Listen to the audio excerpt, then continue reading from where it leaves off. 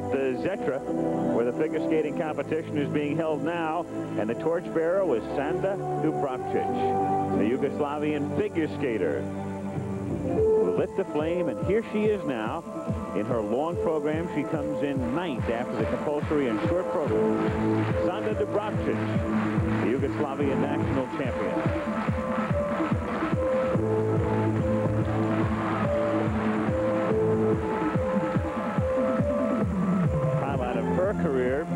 Would be defeating Rosalynn Sumners in a competition last November. And that was an interesting championship all by itself. I don't think she's in any position here to, uh, to give Rosalynn Sumners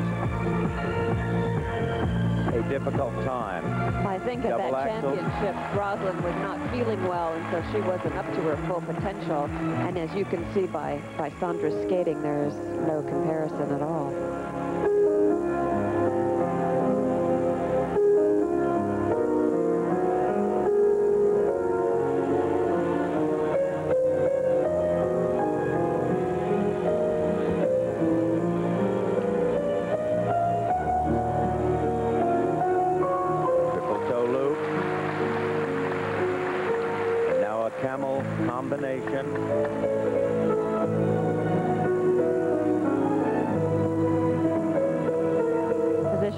Not very good. It doesn't hold things out long enough. It's not finished and polished looking.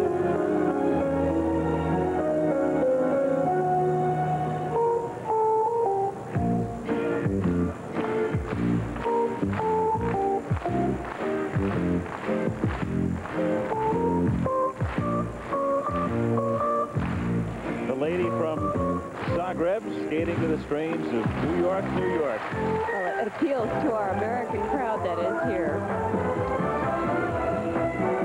Ah, And out of the other coast. and look at these split jumps and half moves and half flips.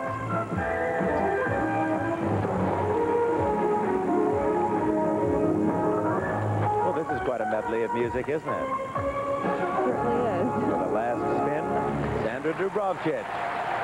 Well, the Americans love her, and so do the Yugoslavs in the crowd tonight at the Zetra. A full house, 8,500. The only Yugoslavian skater in the competition here, Sanda Dubravcic. She reminds me very much of Trixi Schuba, the 1972 Oh, yeah. Olympic champion in Sapporo, who came from not too far north of here, from Vienna. And somehow there's a, a certain quality that the two girls have that I think is similar. Marks for technical merit for Sanda Dubravcic. And they range from a 5.2 up to a 5.5. And uh, the Yugoslav judge, well, why not? Gives her the high mark, five-five.